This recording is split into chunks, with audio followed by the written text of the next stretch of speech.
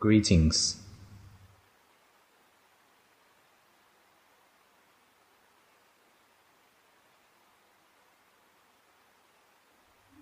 It's been a while since I gave a Dhamma talk for lay people.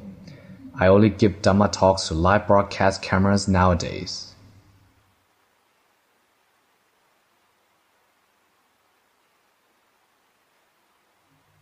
We are gathered here at Well's funeral.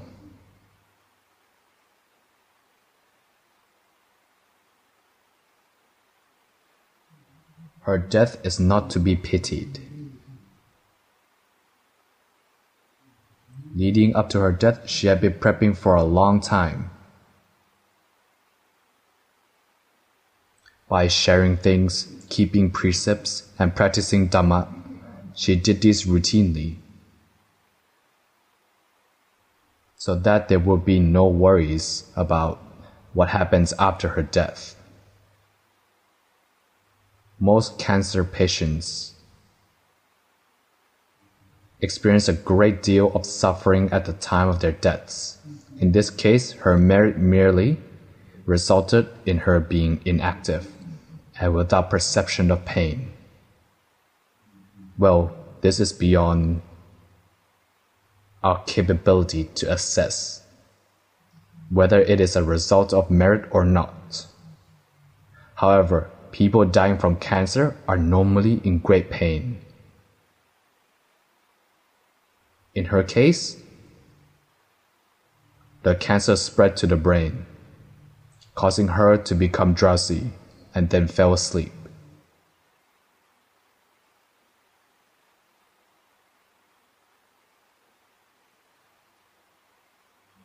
We should look at her as a role model for how to prepare ourselves to be ready.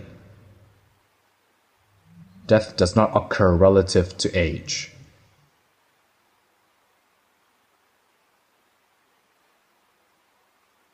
Young people can die before older people.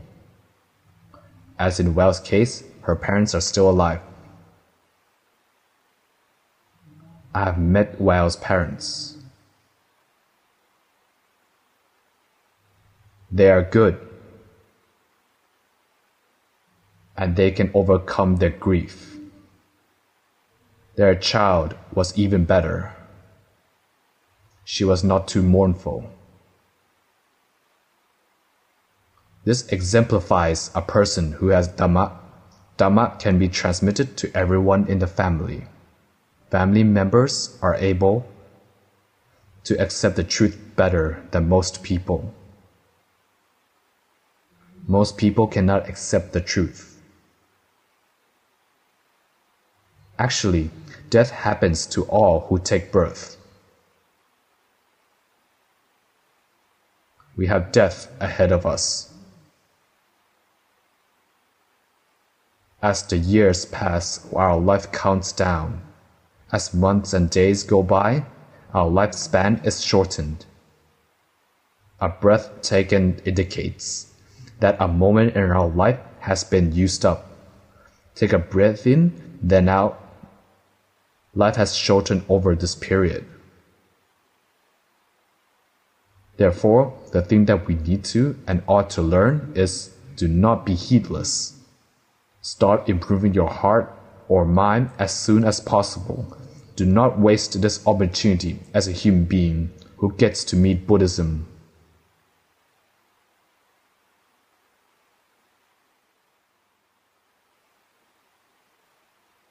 Try to practice like Well did. She was not rich.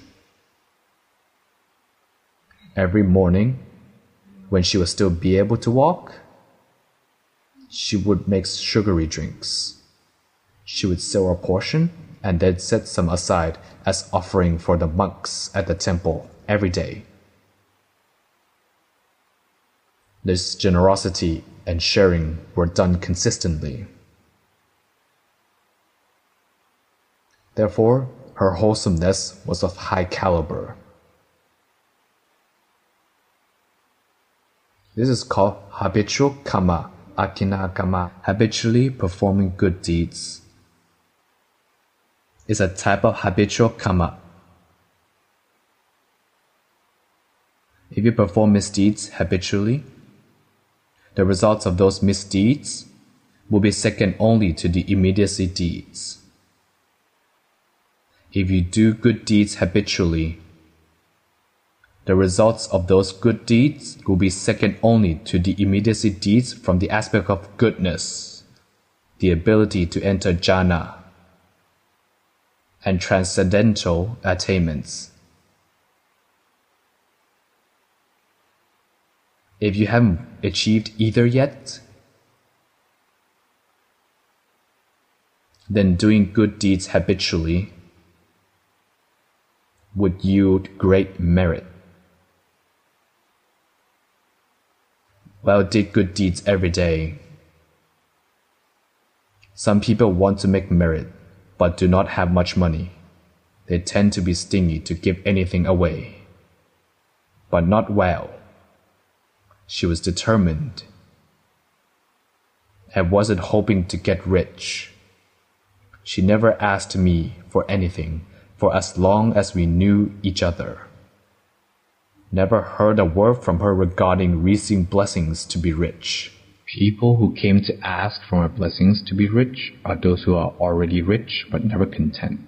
On the other hand, well, she never asked for such a thing. She did it without expecting anything in return. She only wanted to cultivate the mind and attain Dhamma. She kept giving and sharing, keeping moral precepts, and practicing Dhamma as much as she was capable of. Practicing Dhamma cannot guarantee that within two to three days, or seven days, seven months, or seven years, everyone attains liberation. This would depend on how much spiritual perfection you have developed previously. If it is a lot, then you can pick up right from where you left off. The attainment of deliberation will be quick and easy. But if your capital is less, far less for some especially, if you are born with a mind arising from two factors, non greed and non aversion, however, with a high level of delusion. It will be difficult for these people to practice Dhamma. It's going to be a rough path. I'm trying to encourage every one of us to try to be self aware and to not be lost or scattered. If we can achieve this, then the chances of improvement are high. Some people cannot do this, which is actually normal. So never mind meeting me in person. Even amongst those people who met Lord Buddha in person, not everyone was successful in practicing Dhamma. Some of those people even had deficit, such as Devadatta or misbehaved monks had spiritual deficits. Therefore, meeting me in person is no guarantee that you'll be able to attain the fruit in this lifetime. It depends on how much capital we have previously invested. If it is little, try to keep it practicing and be mindful.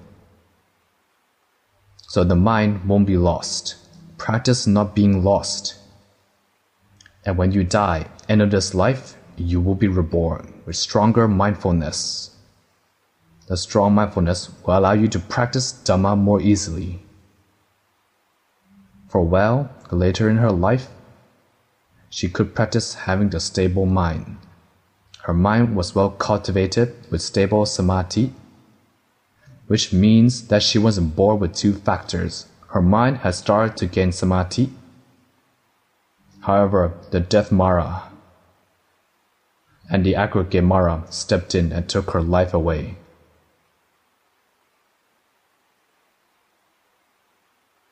Overall, she had been sharing things keeping morality and practicing Dhamma habitually. She cultivated goodness regularly. Her being angry at times is normal.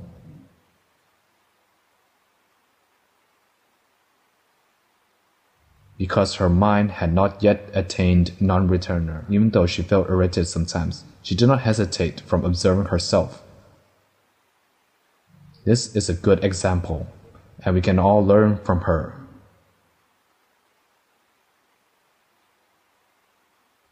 Goodness should be cultivated, no matter how little, till such time you habituate yourself. Even small misdeeds should be avoided, otherwise, you'll get used to it. If it is easy for us to conduct misdeeds, such as something as basic as speaking maliciously or telling a lie, these actions break the fourth precept. This precept is normally taken for granted because it seems like less of a transgression as if acceptable. But once we are capable of small misdeeds, they escalate into bigger misdeeds. Therefore, even small misdeeds should be abstained from and avoided. Example, do not hit or scold other people. Instead, observe your own heart or mind so that you don't get carried away with the defilements. One day, everyone will experience this final point in life. It is just a matter of whether you experience it, it with courage or cowardice.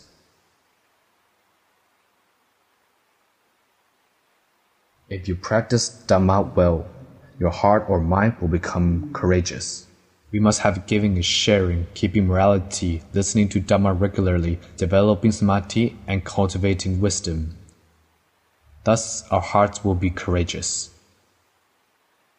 Even when death is imminent, the heart remains courageous as it sees the body get sick. The mind is an observer. The body is in pain. The mind is an observer even when the body is about to die. At the moment of death, while the body has difficulty breathing, we see the body breathing. If the heart or mind becomes worrisome, know that it has. Do not try to fix it. Just know it. Then the mind will no longer be worried. After that, we continue seeing the body breathe till the breath ceases. Try to practice every day. How? When we go to bed, we can practice the breathing technique. Breathe out, then breathe in, or breathe out, chant Buddho or whatsoever. Breathe in, then breathe out. Keep chanting Buddho repeatedly. Then notice when the mind is about to fall asleep. This is what it is like to prepare yourself when the time that death arrives, we may be lying down, breathing, and noticing when it will perish. If wisdom is sufficiently cultivated, you will see that there isn't a dead person. There are only elements and aggregates that break apart and fall away. When elements and aggregates arise, they are going to fade away. The heart won't waver. When we go to sleep, we can prepare ourselves by practicing breathe in chant Bud and breathe out chant Dho while lying down. The mind becomes calm, the heart becomes content and relaxed. Do not practice with stress. If you were to go on practicing Dhamma with stress, breathing in and chanting Bud, breathing out chanting Dho in a stressful manner, then you won't fall asleep because the heart or mind is not relaxed. Practicing the breathing technique will relax mind so that the heart or mind becomes happy, and then you will fall asleep. If you dream, it will be a good dream, not a bad one. Keep practicing this often so that even dreams are good, not bad. As we die in that moment, nimittas appear. These images are projections of our deeds. Let's take Well as a prime example. She did good deeds. What might she have visualized? Maybe an image of her making merit in the mornings at the temple. That's one possibility. Or the visual may have been of the enablers or components used in order to make merits, her homemade pana drinks that she would prepare for the monks. These type of visualizations can bring us to happy realms visualizing the components for preparing the pana drinks and the sweet drinks for monks. Upon seeing these things, the heart will freshen up, having made merits. Dreams manifest. There are three types of these visuals or images, including foreseeing where one will be reborn and in their next life. It will be seen beforehand. However, it is beyond our abilities to choose a desired image. It is like a dream. We don't get to design our dreams. Now practice breathing in Chenput, breathing out Dho until you become accustomed with it. In your sleep, you won't have nightmares. We will do the same at the time of our death. We keep breathing input, breathing out Dho repeatedly. There will be no negative visuals. If there are any visuals, there will be good ones, except for seeing angels and seeing yourself making merits. This isn't nonsense if we practice sufficiently. We will be able to witness death itself as well as dead things. If we practice enough, some of us will get to see these things, though not everyone. They will see ghosts, celestial beings, hell beings, hungry ghosts, and so on. If and when we are able to see these, then we will realize that they do exist. Lord Buddha did not fool us. Some people think that the reason Lord Buddha taught about heaven and hell realms was to make us afraid. They think that it was meant to frighten us. Lord Buddha never frightened anyone. Every word Lord Buddha uttered was the truth. Now, it depends if people are going to believe it or not. It's not possible to force them to believe it. Even having learned the truth, they do not believe it, that it can't be helped. One day they will see at the time of their death. They'll see if it is true or not. While alive, they are conceited and disbelieve Lord Buddha's teachings. If we practice Dhamma and gain the ability to see ghosts and so on, we'll realize that death does not represent the end. Rather, even though this body falls apart and the vital consciousness passes away, a new consciousness instantly arises in a new realm. Either in the hungry ghosts, demons, hell beings, animals, human, angels, or Brahma deities realms just depends. Keep knowing and observing. Keep practicing Dhamma. If you have not yet gained the ability to see these things, that is okay. There's no need to strive to achieve these abilities. Some people just can't. When you're able to see, you don't want to see. When you want to see, you're not able to see. Therefore, keep practicing diligently. If and when the time comes, you'll be able to do that. Some schools of practice teach people to see hell realms and heavenly realms. There are some advantages. It makes them afraid of committing bad deeds and reaping those results. It encourages people to do good deeds. For most people, that is great progress. However, we don't just aim for that level. We have a higher calling. You've come this far. You've met Buddhism. Aiming to live in heavenly realms is of low value. Without Lord Buddha, people can go to heaven or subtle realms.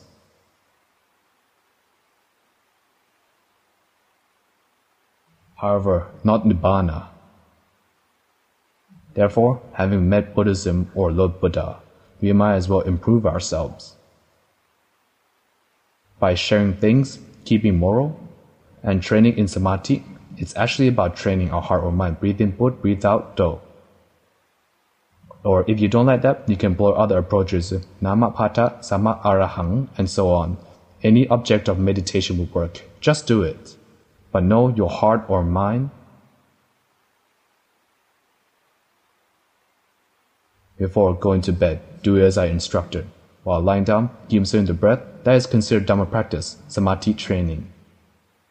Therefore, if we are generous, maintain morality, and practice Dhamma, we will have properly accomplished the requirements of lay people. For lay people, it is by generosity, being moral, and practicing Dhamma. The responsibilities of monks are morality, samadhi, and wisdom cultivation. It is another level. well did well. Sharing things, being moral, and practicing Dhamma, she did what she could. Her death is unlikely to be in vain. She did what she could. We need to do what we can do. To wait for other people to do it for us is careless. Some people think in this way and wait for their children to do what's proper for them. But what if their children don't believe in these things? What if they believe that once you die, that's the end? That will be the worst case. You haven't done it, and your children haven't done it for you. Therefore, we have to perform good deeds by ourselves. It's best to rely on yourselves. The Dhamma of Lord Buddha yields benefits in the present. For example, by practicing Dhamma, we can now gain access to happiness. It also has benefits for our future. For example, when we die, we'll be able to move on to better realms. It yields the ultimate benefit, which is it allows us to gain access to Nibbana. Therefore, the Dhamma of Lord Buddha provides benefits at all levels. The fundamental level is that where we can live happily in the present moment, then we can happily move forward and ultimately gain access to happiness from fruit attainment. Try to train yourself every day. And any misconduct should be abandoned. And good deeds, keep at it. Any good deeds that you've never done before, start now. Some of you only keep morality and share things, but never practice Dhamma. You should do so. To practice Dhamma is simple Train your mind to be with yourself. Breathe in Bud, then breathe out Dho. Whether it becomes calm or not does not matter. Keep breathing till the point where it will be calm on its own. Once the mind becomes calm, it will give rise to wisdom to see what's good and bad. If the mind is restless, it won't be able to tell apart what's right or wrong. What time is it now? That should be enough. This in itself would take years to practice.